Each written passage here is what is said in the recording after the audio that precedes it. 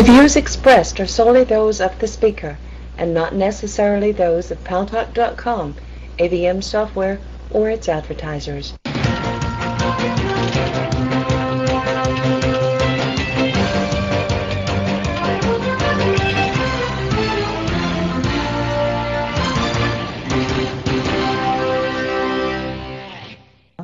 News Talk is online. News Talk Online is a production of paltalk.com, the largest multimedia interactive program on the internet with more than 4 million unique users on demand on iTunes and on YouTube and on my blog, GaryBaumgarten.com, where you are uh, invited to uh, make comments, uh, whether they agree or whether they are in agreement with uh, mine or not matters not.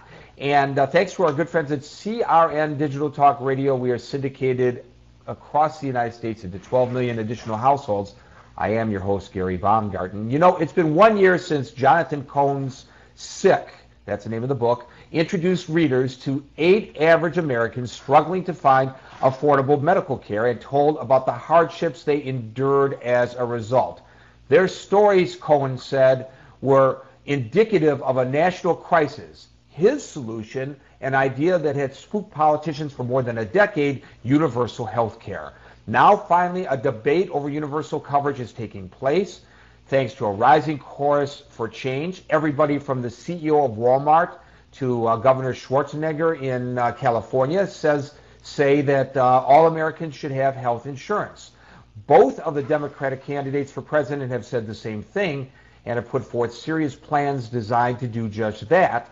Their Republican counterpart, however, John McCain, disagrees. Along with a chorus of others, he says that universal health insurance is the equivalent of socialized medicine. Try to have the government cover everybody, he says. All Americans will end up with long waits, substandard care, and costs that go through the roof. Well, we're headed for another political stale, stalemate, it looks like like the one that uh, prevailed in the early 1990s when the last effort at universal coverage failed? Or have uh, things become so bad for so many people that the pressure for change is unstoppable? And what about the plans that the presidential candidates are proposing? Hillary Clinton's plan is not the same as Barack Obama's plan. Here to straighten it all out, uh, figure it all out for us is Jonathan Cohn, the author of Sick. Jonathan, welcome to News Talk Online on paltalk.com. Thank you. Thank you for having me. It's, uh, it's our pleasure. So, uh, in, in, to start off uh, with this, um, do we really have a serious debate over the issue of uh, national health care during this presidential campaign? Oh, are, we having one? Will we continue to have one? Um, I would say yes and, and yes. Uh, it came up. It was it, there, it was a very big topic of discussion during the Democratic primaries.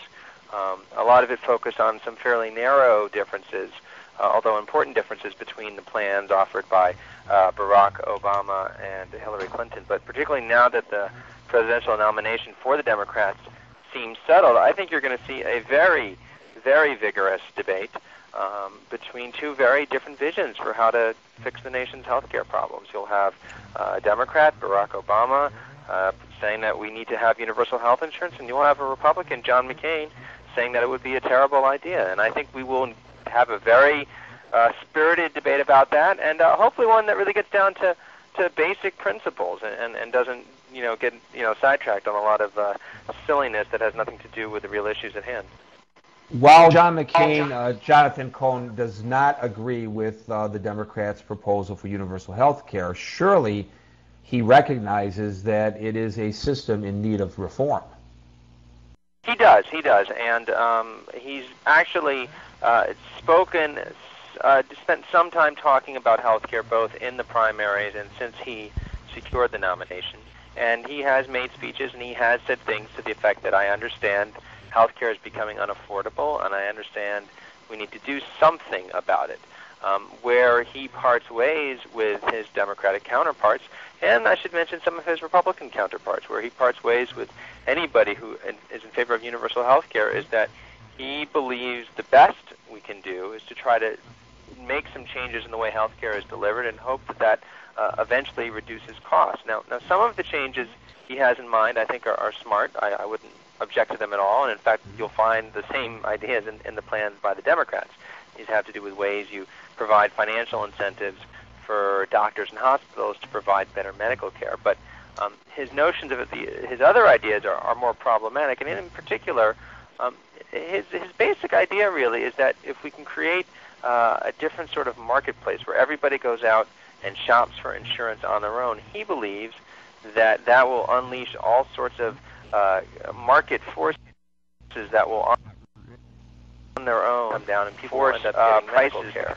And in fact, there's very little evidence to suggest that's true. And, and, and even more problematically, it completely ignores the fact that in general there are a lot of people out there who simply can't just go out and buy health insurance. Um, they can't get an insurance company to sell them health insurance, and it's not because they're not willing to pay the bill. It's because they have some sort of pre-existing condition that no insurance company would want to touch with a 10-foot pole. When Americans uh, talk about some kind of universal health care, they most often refer to what's going on in Canada because it's closest geographically, and they're perhaps more aware of the plan in Canada than they are uh, plans elsewhere in the uh, world where there is some kind of national health care. In Canada, uh, the national program is designed to ensure that everybody has reasonable access to medically necessary hospital and physician services on a prepaid basis. And instead of having a single national plan, however, which is what is most often discussed here in the United States, uh, they have a national program that is composed of 13 interlocking provincial and territorial health insurance plans. There are some common features between them, but there are some differences. Uh, there is a framework that was developed under what's called the Canada Health Act. Now, we hear uh, proponents saying it's great because uh, if you have no money, you can get care in Canada. And yet, we also hear of people coming south of the border for procedures, sometimes life saving procedures, that they just can't get in Canada because of a long waiting list. Right. Well, you know, the, the first thing to know about any when you look at any country abroad or, or the United States for that matter is that there is no perfect healthcare system. No country in the world has solved every problem perfectly. Every country makes certain trade-offs. Um, it is true that in Canada everybody has access. So you do not have the problems you have here with people going bankrupt from their medical bills. Everybody can get medical care. Um, and for the most part,